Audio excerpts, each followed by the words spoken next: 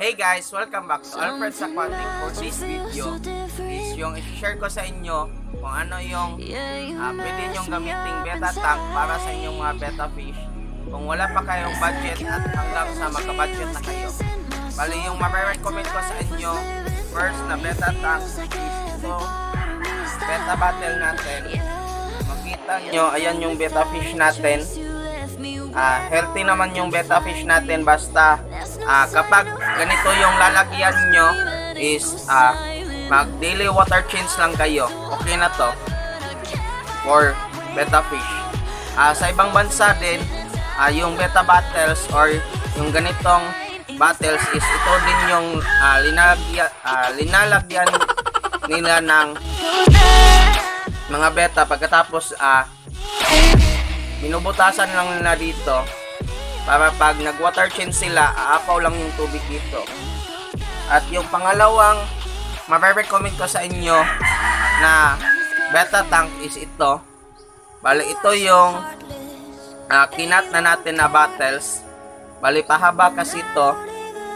Uh, ganyan. Pagkatapos kinat natin dito. Wow at kung hindi uh, hindi nyo pa alam kung uh, paano to gawin uh, mayroon din akong video nito kung paano mag-cut ng battles sa YouTube channel natin. Bali, ilalagay ko na lang din yung uh, video na yon sa pagkatapos ng video na to. At yun yung uh, pinakauna nating ma-recommend sa inyo na uh, beta tank. Bali, yung pangalawa is kukunin ko sa likod. One hour later. Uh, bali, ito guys yung uh, pangalawang beta tank ko nung nagsisimula pa lang akong mag-alaga ng beta bali mula doon sa battles natin uh, nakapag-ipon-ipon tayo ng kaunti ito yung binili ko or pinagawa ko. Bali yung size pala nito guys is uh, 4x4 by 8 yung sukat nito. At Kapag ganito naman yung beta tank natin is dapat weekly tayong nagwo-water change. Or once a week ta dapat tayo mag-water change kapag ganito. Bola lang yan. At yung pangatlo natin guys is kukunin ko ulit sa likod.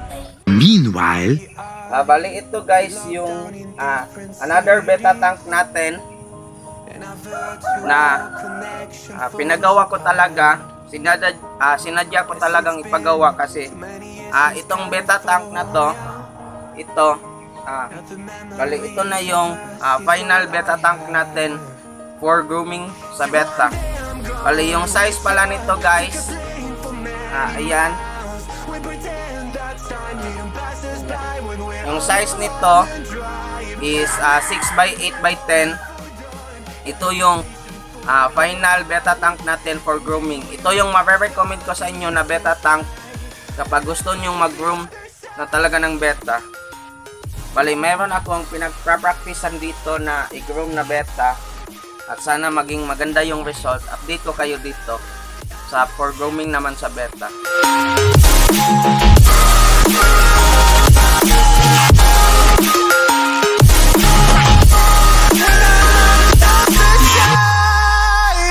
Take me back to the life that we once knew When the walls weren't closing in like they are now. Cause it's been too many years since California. I wish I could get there, I don't know how